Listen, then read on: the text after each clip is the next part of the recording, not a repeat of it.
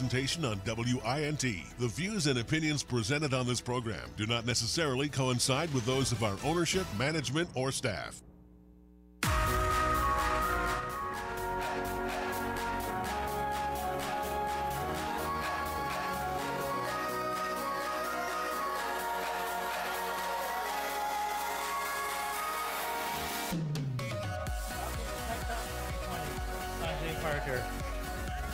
Sanjay Parker, and I'm learning how to use a microphone. Uh, this is Tech Talk 2020, and we're here with my awesome co-host who knows how to use a microphone because his name is Mike Rowe, phone Carswell. And we're here to talk to you about all kinds of cool things related to your health, your business, your life, because technology is life in a lot of ways. Welcome, everybody, to Tech Talk 2020. We're so glad that you're here with us this evening. I know how to use a microphone, but not the computer. Here on WINT 1330 AM and the new 101.5 FM, WINT Integrity Radio. Glad you're here. You can also catch us, WINTradio.com. You can also get us on TuneIn Radio. And then during the show, if you feel so, so led, tweet at us at Tech Talk 2020 on our Twitter handle or hit us up on Facebook, which is also Tech Talk 2020. And we're going to get smarter together. Yes. That's awesome. And I got very smarter, much, uh, something like that, not in that order, but I got smarter reading uh, a media report that a company called Activate Tech put out. It's their media and tech outlook uh, for 2018. Just came out yesterday. I was reading it. It was fascinating. There's so many great things that are happening uh, that they just nailed in terms of the evolution of technology and media and change over the next five years. Um, I know, Mike, you're pretty excited about the media in general and technology in general. These are your two favorite topics. Don't don't don't Im- imply that I don't enjoy learning about technology. We got rid of the rotary phone last week. We're doing good. And What do you have now? Huh, what's that? now? What do you have now? We, we've got a one that goes boop boop boop boop boop when you dial. Oh, nice. It's pretty cool. That's It very steps up. cool. Okay, Yeah. I'm fibbing. Do you I'm know what the opposite of a smartphone is? Uh, dumb phone. No. What is it? Feature phone. Ooh. Feature phone, not Uh, future. feature phone. Check that out. No, we're not quite that technology savvy. I think something's going on where p- somebody hit the like button on our Facebook page, I think we're doing it ourselves. and there's just likes and loves going all across there. The endless emojis. Do I- we told you I have any shout outs to anybody? No. I don't know. Anybody? Anybody want to be shouted out at or Larry Oh, Manici Larry, and, what's going down? Glad and his awesome superstar son, Anthony Manici. If you're listening, hello. And your mom, Megan, and your cat, Gigi. And I can't remember your doggy's name. Goodness gracious, but he's always looking at me from from afar, wanting to jump on me, I think. A That's right, ladies and gentlemen. Here, your cats even get shout outs. That's right. That's right. Roll and rock. Gigi from the future. Now, so a couple of things. rock. This report, so check this out, is the Activate uh, Tech and Media Outlook 2018. We'll post it on our Facebook page. Activate tech. What is it again? Tech and Media Outlook Okay. 2018. Gotcha. I mean, that's basically uh, it's great. Instead of watching a movie Friday night, read this. It's about 145 pages. Fantastic. I'm going to distill it into just a, a few big topics. One of them is there are th- uh, basically they talk about 300 billion dollars in tech and media growth over the next five years. Is that billion with a B, Sanjay? billion, and that's growth. I mean, we're talking trillion dollar markets. For example, you know, two trillion dollars uh, in terms of um, subscription models. You Oh, know, so Netflix and Hulu, all that stuff. Not billions now. We're talking trillions with Right. a T. And it's interesting. The thing that will lead the compound annual growth rate of um, technology and media uh, revenue over the next five years is going to be actually um, the cost of internet access. So don't think you're getting away scot free with your twenty nine ninety five internet plan. That's actually going to go up. That's going to see most of the cost Why? increase Why? because it's there and, and you cord cutters including myself decided you know we're going to get content over the internet now that pipe is going to be more important than the cable connection that we used to have to get the content Gotcha. It's the pipe we got some great stats on where people are getting their information and news as well which you'll find interesting Well, I want to quickly ask you this about just. Uh, I wonder, and I know it's, it's minimized significantly from what it used to be, but I wonder how many folks out there suffer from buffering. The buffering. are you suffering from buffering, Buffering. Hmm. You know, so we've gotten so accustomed to utilizing the internet for so many different services and sources that it's really annoying to see that little circle thing spinning around on your screen now. Is that a common thing at, in Parker 101 uh, Parker Street? Yeah, it used to be until I What'd you do? up, What'd you do? upgraded. It was great. So Cost you more money? um, at first, but then I downgraded and I got more for less. it was weird. You have to play the game with the the people. I got somebody nice on the line, and Yeah. they gave me a deal. I said my neighbors got this deal for twenty nine ninety five, and I said, so Mike has no. Um, he's part of the I don't mute anything society. it's very hard to get him to mute anything. Sometimes he's talking at the end of the show. Um, so here's something interesting that came out of this. I think I know who that was. but- How many hours are there in a day? Well, last check it was 24. Wrong.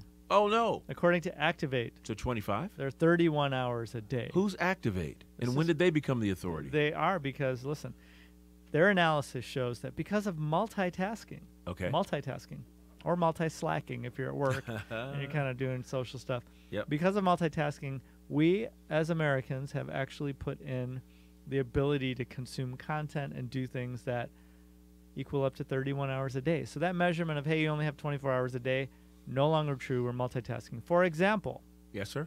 how many hours do you think the average U.S. person sleeps per night? Well, I'm going to say between five and a half and six and a half. Okay, seven hours and six minutes. All right, because I get five and a half and six and a half, but I'm at average.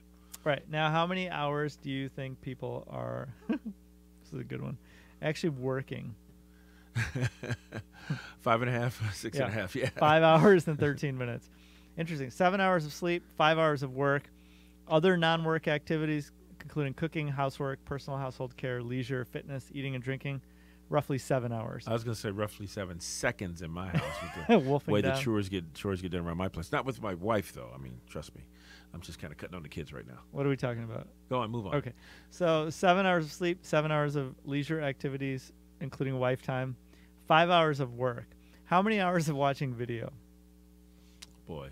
Um, The average I- U.S. well, I know that amongst the youngsters, it's around four hours a day with Very the close. youngsters, but I don't know about the older folks. Older folks, but Well, this is 18. This is uh, behavior average over seven days, and it includes um, U.S. adults 18 and over in Mhm. 2016. So pretty recent stuff.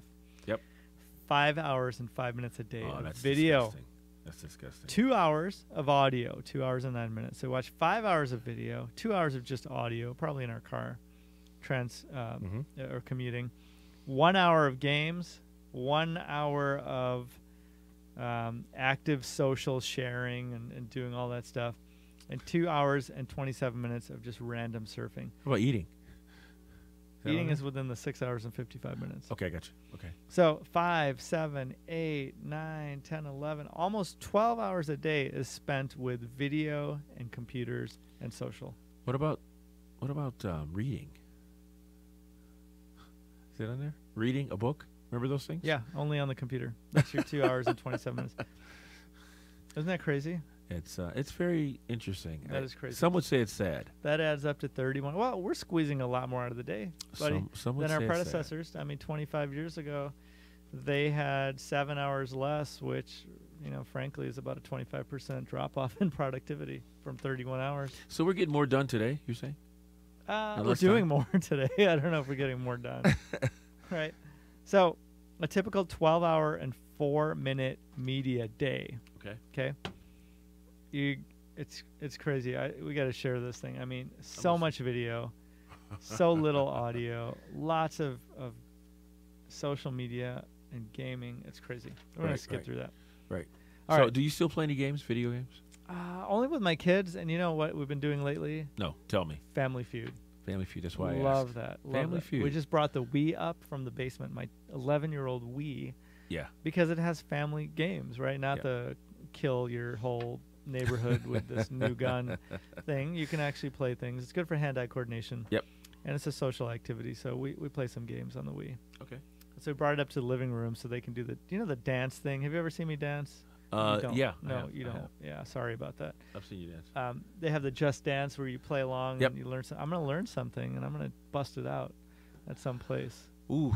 Okay. Um, there's some things you look forward to, and then there's some things you look forward to, and then there's some things you don't look forward to. So we, let's get back to technology. Let's get off you dancing, please. All right, all right, all right. so check this out. Another important thing: Yes, sir. What's going to happen here? Yes, sir. Mess up my pages. What else is important?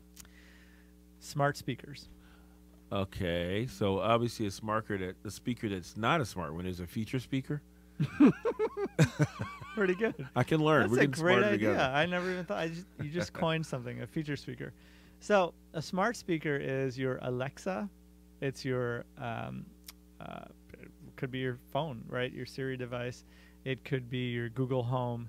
It's a speaker that you interact with. now this sounds pretty innocuous, right? Okay. I don't have an Alexa speaker, or a what can I Google? Home, so Some I'm- smart speakers now have built-in video screens, right? You know the no, the Amazon. Show. Didn't know that. What's Oh, it called again? Amazon Show. Show. yeah. Okay. So if you go in and say, "Hey, Alexa, show me that latest clip or whatever," today when I do it, it turns on my TV, launches the Fire TV, and then uh, starts playing. But if you have the Amazon Show, we just have the Alexa. It will actually play it on that device. Does it ever tell you, "Hey Sanjay, go pick up a book"? Why would it do that? That's not in its own self-interest. My. I'm with you. So, um, a- anyway, by the way, uh, Yes, sir. I won't tell you, but I know people very closely that may have names that sound like mine that have actually asked Alexa to read their kids a bedtime story Ooh, wow. while they were busy. Well, I think that would probably be kind of entertaining for the kids every Yes. now and then, just to break the monotony. Yeah. I'm gonna give you a break here, pal. All right. Cool. Cool. cool. Cut up That the is monotony. interesting because of all the sound effects and stuff. But so this um, uh, the other thing that's going to happen is these smart speakers. They're really going to drive audio listening, and it's going to change as well because of smart self-driving cars. They become interfaces. So these smart speakers are very, very interesting because they are the critical front to every company you know today, Netflix to Google to Facebook to Amazon. That is the next wave of how people will communicate with their computers. It's called natural language dialogue. And that speaker looks all cute sitting there, but every tech company that is playing in that speaker, smart speaker space, is basically betting their future existence on that because nobody likes to type, right? Most people can talk faster than they can type. And so natural language is much easier in terms of getting stuff done, right? Have you used a natural language device? I use a natural language device quite frequently. If I'm driving, I will use the telephone, the Bluetooth or whatever through my car, and I will answer texts that way. Uh, I will carry on conversations that way. I will straight up jam that way. So no, I uh, understand that hands free is the way to be, Yeah, absolutely. And these things are listening all the time. which is scary. And really, yeah, sounds like a smart speaker, but it's really a way that these companies got artificial intelligence or AI into your home. It sounds like a science fiction movie, is what it sounds like. Yeah, it's designed to make your life easier. It's listening, listening, listening, and you say something, and it does it, and it kind of predicts it. Now, the future of that smart speaker uh, space is going to be this it's not just going to listen to your commands, it's going to remember your old commands. It's going to be able to recognize your voice by spectral pattern recognition. Oh, so it'll know me for me. It'll know Mike is asking, and he doesn't like anything, any music that was made in the last 25 years because Nope. it's garbage. That's right. That's right. That's what He likes the classics. he knows the original people. Don't don't give people impression that I'm not flexible. So, the gray hair, don't let the gray hair fool you. So no, we haven't get So that's the speaker device, and that's going to be amazing in terms of the, the technology. So when we come back, we'll talk about some more big trends, and uh, we'll see you then. Can I talk talk a little bit about sneaker, sneaker, speaker, sneaker? Yeah, Okay, I'd love good. to hear about that. Yeah. Later. See you in a minute.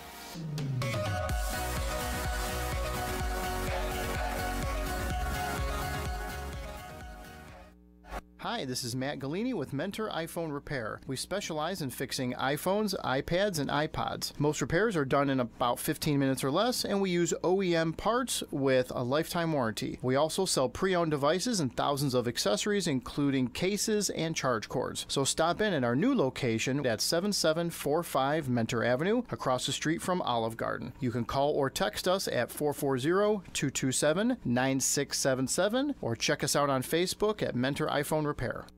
How do you say French toast, bacon or sausage, coffee or tea, and juice for only $5 in French? Toast français, bacon ou saucisse, café ou thé et jus pour seulement 5 dollars. But you don't have to speak French to enjoy the Our Lady of Lourdes Shrine French Toast Breakfast and Mini Craft Fair on Sunday, November 5th and December 3rd. Enjoy a sweet breakfast of French toast, bacon or sausage, coffee or tea, and juice for only $5. Call ahead to get your tickets 216 481 8232. That's 216 481 8232 and Bon appétit.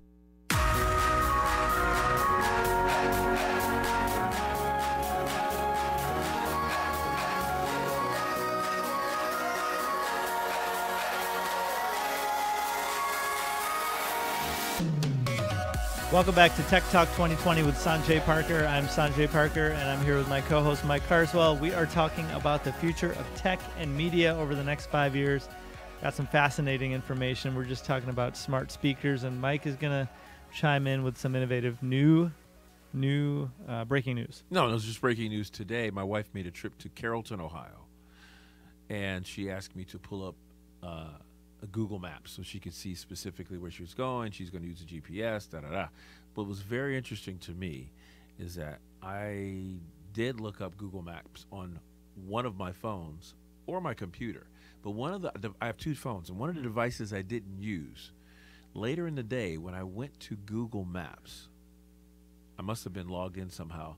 The first past address that was pulled up was for Carrollton, Carrollton, Ohio, where I was going earlier. But I wasn't utilizing that phone at the time. So I just felt like the phone was sitting over another part of the room. Mm-hmm. And I could be crazy here, but my assumption is that if you are on one particular network, be it Google or pick another one, I'm, I'm assuming that I can think, can't think of one for Apple, but but if you think of one that is is uh, universal with all your devices, it's going to pull it up. Yeah, actually, there's a, a big push around um, resumption of sessions. So Okay. if you start a browsing session or search or something on one device, if you're logged in on another device, when you go back there, you can pick it up. You know, Apple does that with even apps that you use. If you go from the iPad Right. to the iPhone and you have the same apps, in the middle of a game, you can pick it up and start playing. It remembers mm-hmm. that state. Okay. So I guess you when you're on the internet, you better go to good places, or people are going to know where you go. That's right. That's right. if you've got nothing to hide, you got nothing to worry about. Sean, good places.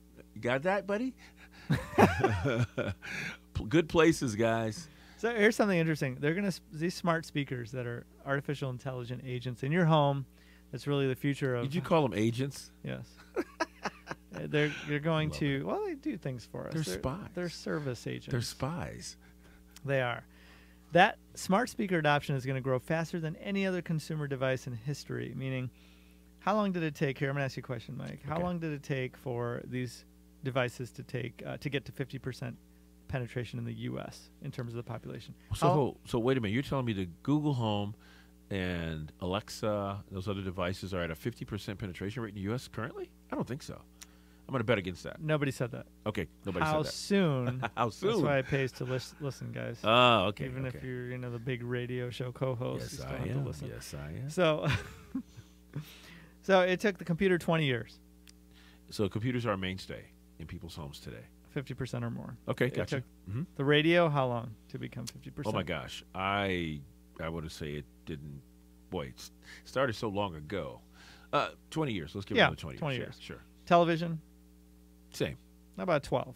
Oh, really? Smartphone, how long did it take to reach Well, 50%? smartphone. We were talking less than ten years. It's Yep. been about nine years. Nailed it, right? Seven Yeah. years, seven, eight years. Uh-huh. Smart speaker, they're going to say it takes probably about four years. And You we're think? probably in the second or third year. I'm resistant. Yep. So even though people are adopting this, I'm it's- resistant. It's not going to be a sky high. Resist. forecast, right? Not everybody's going to have one. And by the way, people who have one, there's so much more you can do. Uh, 65% of people, they said, have not enabled one Alexa skill. A skill is something new. Like you can go in and enable it to do something like, hey, look up. Um, you can look up NBA scores and do basic things. But Sure. what about a skill like uh, a choose your own adventure? What's You know, a those kind menu of- for uh, you know rigatoni? I think that Mhm, that the cooking issue is, right. is similar to whatever you have most of us on our computers, we have a Microsoft package which contains Outlook and PowerPoint and other programs utilize and do our do the things we'd like to do. Mm-hmm. But so many of us don't use all the programs. We don't. So we have somewhere in the neighborhood of uh, we will use 20% of, of the of the software's capabilities. So in cons- in con- concert with what you just mentioned with the other devices, I'm sure that there's going to be a level of it that we really don't utilize. That's totally yeah, human nature. That 80-20 rule. 80% of the people will use 20% of the features of anything. Has always been around. 20%. You get a gym membership, and 80% of the people will use it. You know, That's less crazy. than 20%. and they'll, the they'll keep paying for it for a year. Yeah, It's crazy. absolutely. So that's kind of interesting. Also, here's here's some other trends that are happening. We talked about virtual reality and augmented reality on Mhm. our show. So virtual reality is when you put on the big headset, you can't see anything except you know the 3D world that you're interacting. All over with. TV about a year and a half ago, but we don't see much of it at all now. Kind of interesting, yeah. Mhm. And then there was a push for augmented reality, like Microsoft Hololens, where you know you can go ahead and look at an object and see the real object, but also something layered on top of it. That's Mm. kind of neat, you know, for learning how to do stuff. But now it's all over the board. There's merged reality. There's transmogrified reality. Im- immersive. It's crazy. Mediated reality, where there's somebody brokering what's real and what's not. It's a little crazy. So they're just changing the term to reality computing, Mhm. and that could mean anything. And they think that's going to be pretty big because of a couple of things. There's been an adoption um, uh, stagnation because you know wearing that bulky headset. Plus, Mhm. it's expensive. You know, Right. plus you need um, an expensive computer. Plus, you're tethered to your desk you know, and even with the the smartphones, which is really going to lead the adoption because now since the iPhone 6 Plus and the Galaxy S8, they all have built-in hardware capable of Right. doing 3D stuff. But still, it's not safe to walk around, you know, with the. You know, trust me, I know. Really? I've- yeah. It's not so good. So you know, walking around and doing that is not a great thing. But we're really going to see tomorrow. You know, the big computing platform is going to be a blend of all of those realities. The idea is that just picture it this way the easiest way to explain it is that anywhere you are that can be a screen Mm. so that's how you know um, reality computing is going to build You're itself. basically validating the fact that we'll be doing less and less reading. No you can read it's just that the medium is a little bit Sean agrees with me. so we know look guys this is hey, Crack a book, it's would you? fun it's fun Crack a book. I understand. no more cracking Long, long as balance is, is, is kept in there, Well, I'm, a, I'm a happy guy. the you know when the book came out, all the people who the printing press and they said, "Oh, I like handwriting. This is garbage. This mass-produced stuff." How do you know? You weren't around. No, I did. I I. I at, they posted it in. keep telling me what's going to happen tomorrow. I want to know what's going to happen Usenet tomorrow. groups. What's going to happen tomorrow? Tell me. So another interesting thing that we're going to see Mhm. is around with all this change. Okay, we know that Deep breath, everyone. two things: sports, sports. You know a little bit about sports. I've been Sports there. is Been there, interesting because it has that moat kind of effect. It's it's just insulated. So right now, the NFL, even though everybody's claiming doom and gloom, Activate thinks that they're still going to lead in terms of U.S. viewers, Mhm. 141 million. They in- better fix their thing years. there. And you look at NBA, it's still going to level off around you know 63 million. Baseball has more viewers than NBA. I don't know that. Longer season. Think about it. Double the games. 79 million. Double the games. But then hockey has 32 million. Well, they have a lot of games. I'm going to a hockey game on Saturday. Wow, Yeah. that's interesting. Yeah, Where? man. Yeah, man. They're here, Cleveland. Oh, that's cool. The, Oh, yeah. Was that the? The Lake Erie Monsters. Yeah. Lake Erie Yeah. Monsters. I was there when they won the championship. So yeah. Beautiful moment. Oh yeah, that was Mhm. uh, two years ago. That was Yep. a great year. I was there. Stipe and the Cavs and the Monsters. That was awesome. A lot of wins that year. Yeah. So interesting. They break it down. A super fan views 10 or more hours of sports content per week. Are you a super fan? No. I don't think I ever was a super fan. That sounds. Uh, you said per week? Yeah. Oh, 10 per week. Yeah, I was a super fan. I thought you meant 10 per day. No. 10 per week, yes. I used to be. That, that would be sick. Yeah, I used to be a super fan if that's if it's 10 per day. Yeah. And then I was listening to it on the radio as well. Yeah. A, a- a last little piece here that I want to talk about in terms of big trends. Again, you can check out this report.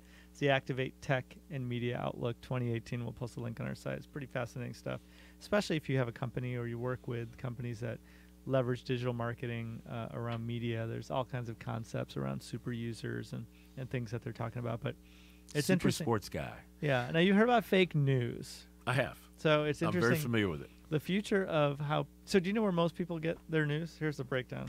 Well, I you know that's very interesting. You say that. I think we have a little bit of time to talk about that. Where do people get their news? I ask that question often, and I'm surprised to find out based on their age where they get it from. So many folks that are my age seem to get their news from the network. Uh, from either a television feed or, or whatever, and and many, many, many get it from from the radio, which is interesting.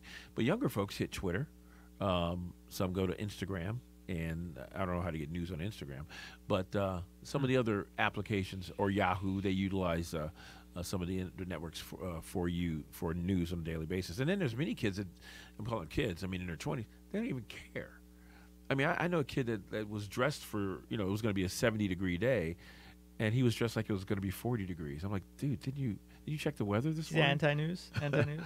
No, I just just think slow.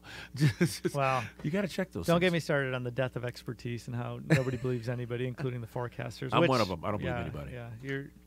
Anyway, so if you take all U.S. adults, 40% get their news from social media, Wow. mostly Facebook. Facebook is the top site. I never read. Well, I mean, let's put it like I minimally read news on Facebook They, most Very of the country gets it there, and the interesting thing is that it's, because I don't believe it. it's more curated, and it's curated for you. And interestingly, um, so you look at 40% social media, 38% direct visits to their favorite news sites, Fox, CNN, MSNBC, whatever it is. Right. 31% just doing search engine, 11% email alerts. So kind of interesting that these big companies um, um, are, are really still influ- being influenced by social media and, and Facebook. I guess we never really thought the power of social media would reach the level that it is. No, and It's the big problem with that they're saying is fake friends and f- are fake bots. Mm-hmm. So on Facebook, there's a lot of bots, Mm-hmm. right? And so when you look at what's happened over the past year or two uh, on these social platforms, these fake bots drive fake news But why is it dangerous? So that's what I don't because they're likely to be well because it's not accurate and because they're likely to be the most active distributors of false content. False content inherently Yes, is sir. not a good thing, Yes, right? sir. Yeah, So but you don't have to go far to find false content. False content seems to be in our face every day, no matter what device you look at. Absolutely. But social media, like you said, they take it personal, Yeah. and people kind of Right, and there's sewage around my home because we have septic, but I don't want to step through it every day. right? I mean, it just is there. So it's interesting that we're going to see more and more fake bots, and people are going to run from that and go towards the traditional media sites to have some level of trust. It's going to be Ah, interesting. I don't trust. That's their prediction. Anybody. As my 26 year old said, don't watch the news. hey, everyone. But you can stay tuned to Tech Talk 2020. Check out some of our episodes on Facebook. Look at us uh, on YouTube. We're glad to be with you every week here and getting smarter together. Mike Carswell, Sanjay Parker, signing off. Have a great week. Thanks.